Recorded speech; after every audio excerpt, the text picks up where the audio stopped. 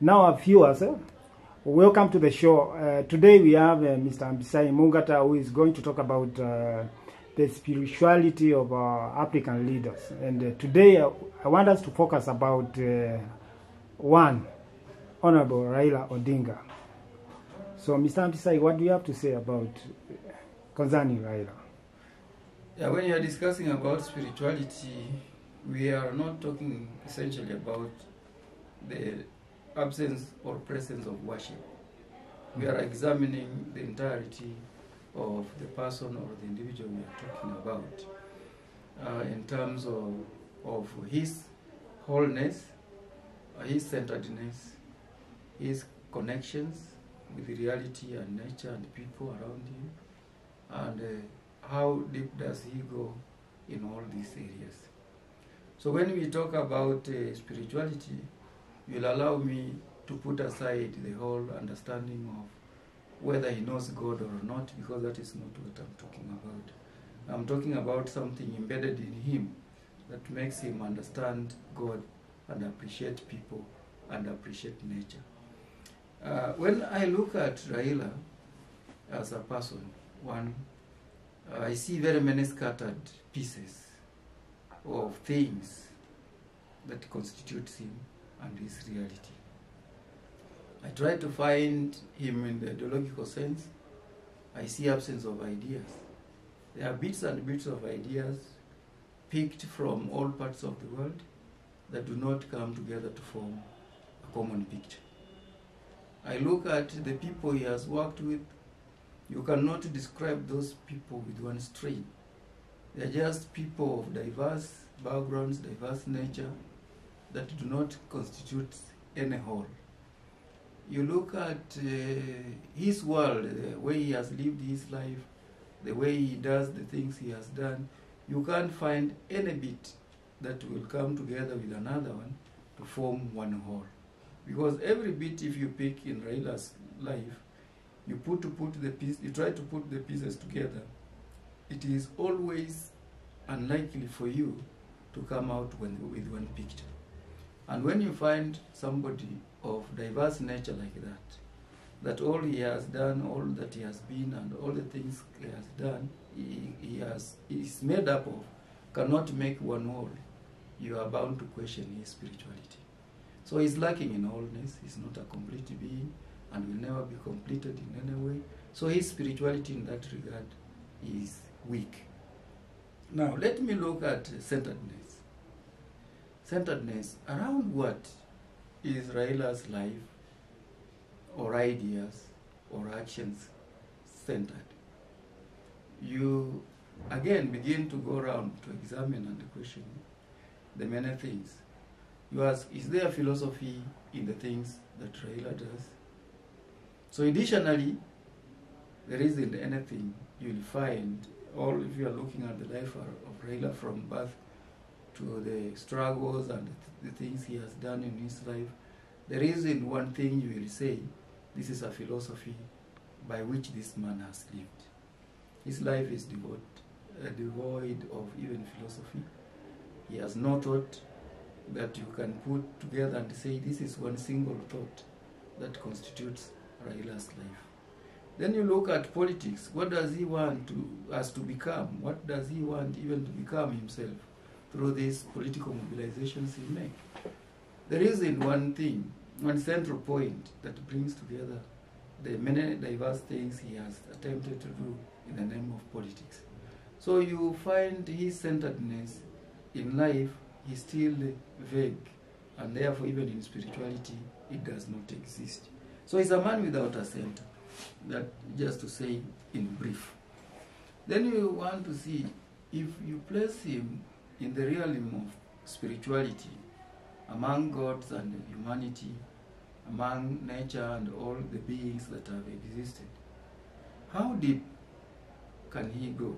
How narrow and or wide can he reach? You look at uh, Raila and you find any surface is placed on in the matters that I've just stated is most bound, likely bound to float. So it doesn't go deep enough, it doesn't go wide enough. He's somebody whose spirituality is very narrow, dangerously narrow. So when you look at depth, is lacking in his spirituality. Then let me discuss the final point of his connectedness. How connected is he in regard to his spirituality? The people around him, does he have a friend? None. He has not kept anybody close to himself since his childhood, and not so many people can relate to him uh, from the proximity of saying, This man is my friend. He has used everybody he met on the wrong, along the way and discarded them whenever the opportunity needed him to do so. So he has not, uh, uh, he doesn't have people he really has an alliance uh, to or allegiance to. His allegiance to anybody, to friends, to, to, to, to events, to circumstances does not exist. And even when it comes to looking at it from the point of view of the wider nature, how does he connect with? Th- This man's concerns are just selfish, all about himself. And when you examine that kind of spirituality, it is very destructive spirituality. Okay, and uh, if I can ask, uh, you have seen him being baptized some, some years ago by the great prophet Dr. Owuor, and uh, you have also heard that uh, he has uh, gotten born again recently somewhere in Murang'a. How would you describe those actions? Are they just reactionary? Because I heard him say in a meeting that, you know, people have been calling me Muganga. Now you will not be able to call me Muganga again. Uh, what can you make of those uh, kind of actions? I find it baffling because uh, now let's take spirituality to the realm of religion, where somebody is supposed to believe and worship a god of some type. Raila has no god, and sometimes he assumes the god himself. That is why he can be born again as many times as the circumstances uh, allow him.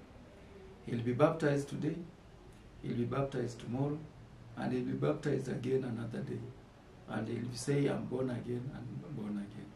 The concept of being born again, even from the Christian perspective for him, does not exist. It is all for political convenience, and he does it to just get well with the public as is required at that moment. Okay. And uh, finally, uh, do you think um, uh, uh, the, the, this thing of him you know, going about uh, getting born again now and then is of any political significance in our political you know, landscape? Kenyans have always appreciated him and accepted him uh, in spite of what he does. But uh, the idea that he says he's born again is perhaps a way of ridiculing God.